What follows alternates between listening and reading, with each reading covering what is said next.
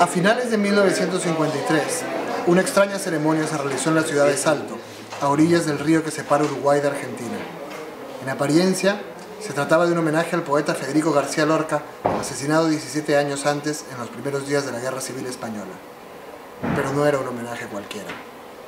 Enrique Amorín, que apenas aparece, pero es este hombre de camisa blanca que señala con el uso, organizó esta ceremonia, esta extraña eh, ceremonia en Salto, Uruguay, a, orillas del río que separa al Uruguay de la Argentina. Él había mm, convocado a la, inauguración del primer monumento a Federico García Lorca del mundo, que lo era. Y todo era tan fúnebre que los pescadores del río que se acercaban le daban el pésame a Margarita Chirú pensando que estaba enterrando a un difunto, le daban el pésame pensando que era su hijo el que estaba enterrando. Por si fuera poco, en su discurso de presentación, eh, Amorim dice, gracias pueblo de Salto por lo que intuyes y por lo que adivinas eh, que está ocurriendo aquí. Eh, en este pliegue del suelo que me tendrá enterrado, eh, me tendrá preso por siempre, está Federico García Lorca. Pero además, eh, después de la inauguración de este monumento, eh, en la correspondencia que guarda Morín,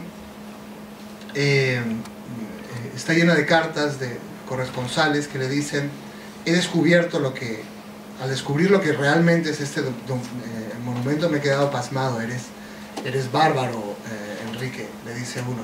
Otro le jura que él guardará el secreto del monumento, que, no se venderá y que Federico y su monumento están, los lleva en su corazón.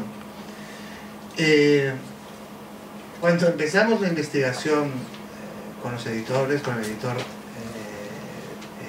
de Alcalá con que, con que trabajé, pensábamos, ¿tenemos el cadáver?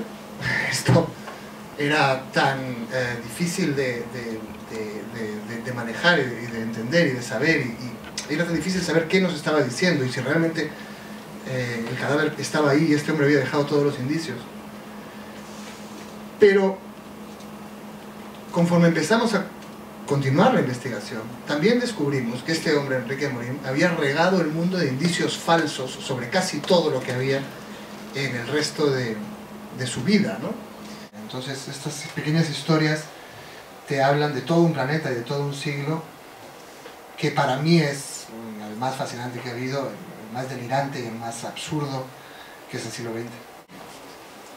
Nadie la ha censurado, nadie me ha amenazado de muerte, ningún abogado me ha amenazado con nada, o sea que creo que estoy progresando, estoy haciéndolo cada vez mejor.